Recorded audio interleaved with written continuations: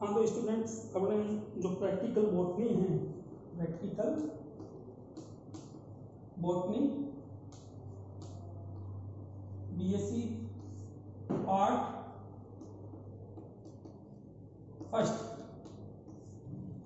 तो इसमें जैसा कि पिछले वीडियो में लगातार मैं बताता रहा हूँ, अपन को क्या लिखना है? सबसे पहले ऑब्जेक्ट ऑब्जेक्ट ऑब्जेक्ट या जो उद्देश्य है, उद्देश्य तो वो क्या है? दी गई पादप सामग्री का अध्ययन करना या to study the given plant material फिर इसके बाद में मटेरियल के तौर पे अननोन प्लांट मटेरियल और अननोन प्लांट मटेरियल के बाद में जो फिर है सेफ्लेनिन है वाचविलास है और अपनी सलाइड है कवर स्लिप है ग्लिसरीन है ये सारे और ब्रश है। ये क्या हो गए? इसके मटेरियल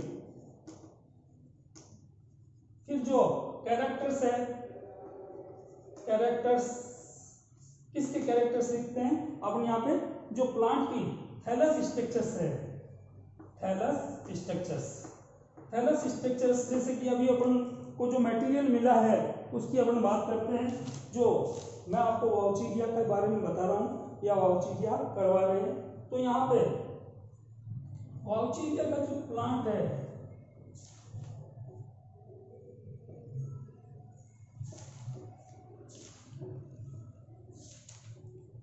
इस प्रकार की जो स्ट्रक्चर्स अपन को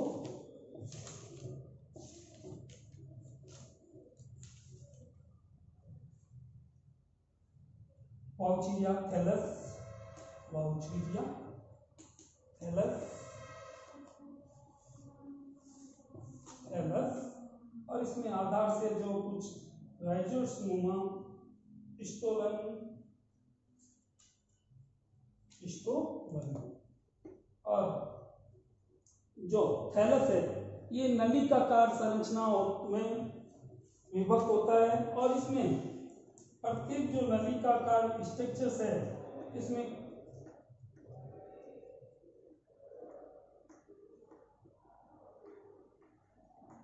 क्रोमेटोफोर क्रोमेटोफोर और न्यू फिर जो है nucleus in multi nucleus structures इसमें पाई जाती है।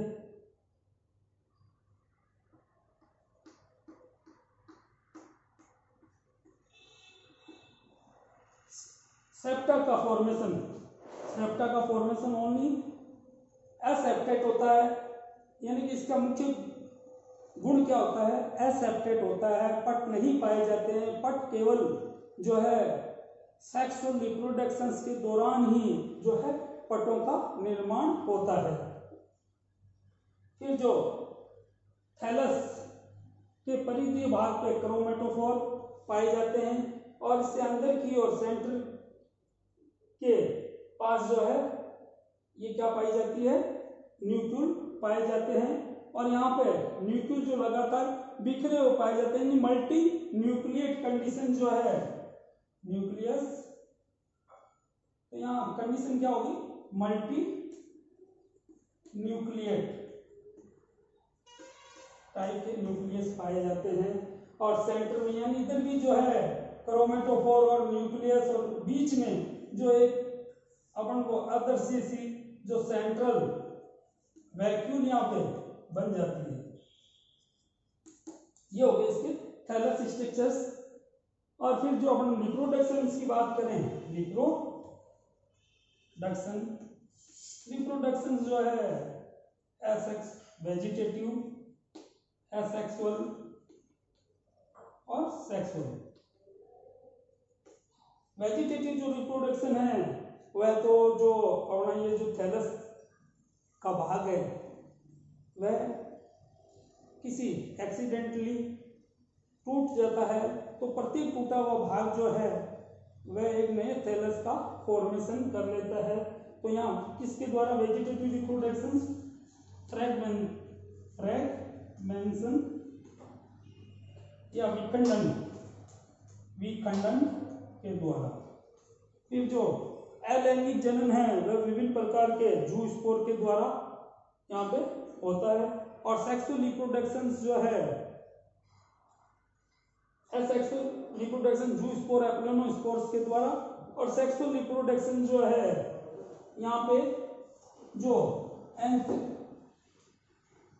एंथ्रो एंथ्रीडिया और पास समीप जो आधारी भाग है, उससे डेवलप होने वाली जो संरचना उगोनिया। यहाँ पे ये इसकी उगोनिया और ये इसकी एंथ्रीडिया। तो एंथ्रीडिया और उगोनिया के द्वारा इसमें जो सेक्सुअल रिप्रोडक्शन संपन्न होता है। तो यहाँ पे ये अपन कैरेक्टर्स इसके लिख देते हैं। फिर अपने जो लास्ट में रिज़ल्ट लिखते हैं रिज़ल्ट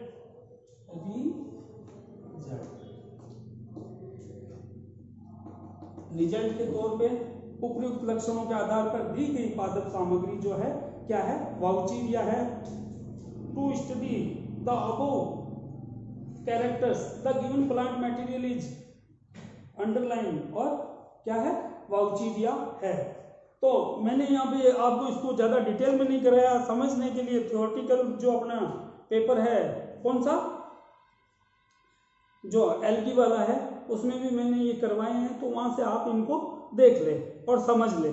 और जबकि जो प्रैक्टिकल वर्क है, वहाँ पे आपको एक तो थैलस स्ट्रक्चर्स का डायग्राम दूसरा जो रिप्रोडक्शन में है, इनका एंथीडिया और उगोनिया और इनका डायग्राम आप बना लें। तो स्टूडेंट्स ये काम जो मैं आपको बताते जा रहा हूँ, जैसे आज कारा और वाउचिदिया का बताया, पिछली टर्म्स में भी मैंने बताया तो ये सारा काम आप कर लीजिए, अपने रिकॉर्ड में कर लीजिए, जिससे ज़्यादा आपको बाहर नहीं पड़े। Okay thank you